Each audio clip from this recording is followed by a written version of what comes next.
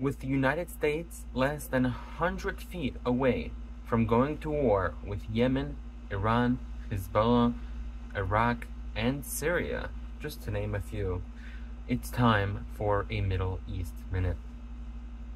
You see, what happened is that the Houthis in Yemen fired a drone at Tel Aviv. They've been doing this for months now, almost 10 months to be exact, but they've always missed. Why? Well, mostly they suck, but also, if it ever got close, the US would shoot them down. They've been shooting down Houthi drones for months now. What changed? Well, it was just human error. Israeli, at the radar place, however it works, decided that it was a false alarm, and so just went said, deflag it, just go away. And so the drone went through Israeli defenses and blew up over Tel Aviv, injuring over 10 people and killing one person. But the big story is that it went just less than 100 feet away from the Israeli consulate in Tel Aviv, which means if it, that was the target, and if it would have hit it, and people were there, that would have been a declaration of war on the United States. That is a drone on the United States. That is an attack on the United States. This was an attempted attack on United States soil. That's what everyone has to understand. How close we came to global war. That means war with the Houthis. Yes, the United States government, military, and Israelis have said options are open to what they're going to hit in Yemen, but they're only going to hit a few warehouses and that's it. In reality, if that would have hit the U.S. consulate in Tel Aviv, that's war, which means going to war with Iran, which probably means China and Russia following suit. We got so close, so close to global war.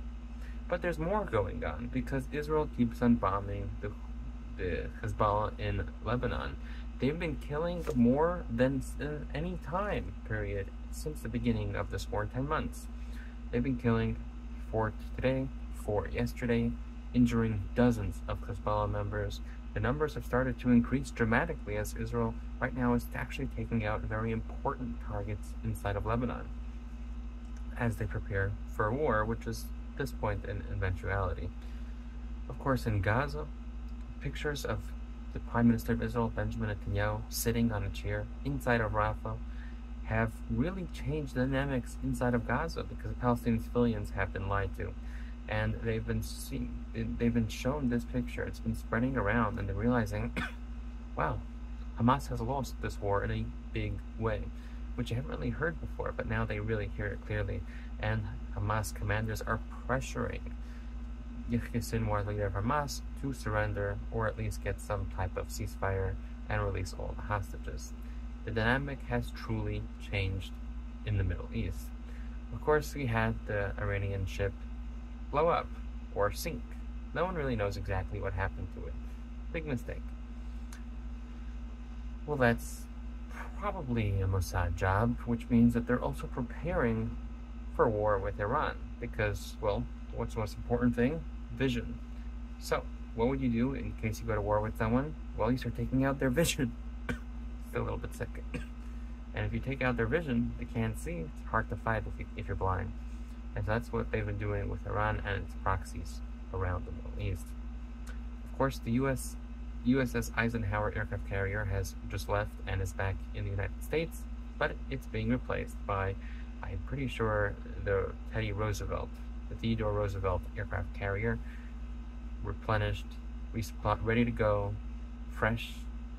It is prepared to fight an army. It is an army. It can take out countries.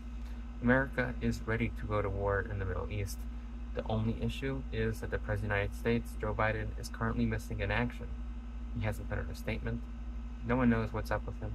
Is he alive? Weekend at Bernie's? The Middle East has gotten much more dangerous. Just over the past few weeks, Pakistan, Afghanistan, and India have been having massive clashes. Suicide bombings have upped dramatically in that region as the Taliban have been just not really they're not really good anymore. That oh they have never been good. Oops, that was a big mistake giving over control to them. It's become a big mess. fighting is a mainstay of the Middle East. But this amount of chaos and destruction and death is, is unparalleled. And it's only getting worse. This has been the Middle East Minute. See you next video. Subscribe.